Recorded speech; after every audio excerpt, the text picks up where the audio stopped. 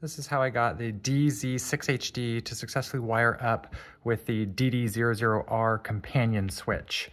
And these are the instructions that sucked. So I went online and dug through Reddit and found some better examples.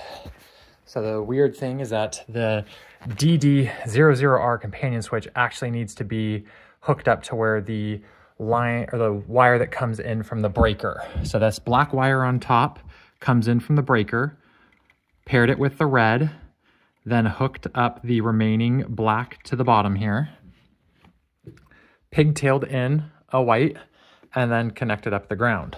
Those go over to the DZ 6HD. Again, ground, ground and white wire. White wire pigtailed in, ground in as well. This purple color here goes to the line that goes up to your lights themselves. And then on the back side here, you've got the red that we paired with the wire from the breaker. And then that additional black that was on the bottom is on the bottom here as well. This will allow you to turn the lights on and off from both locations and dim from both locations.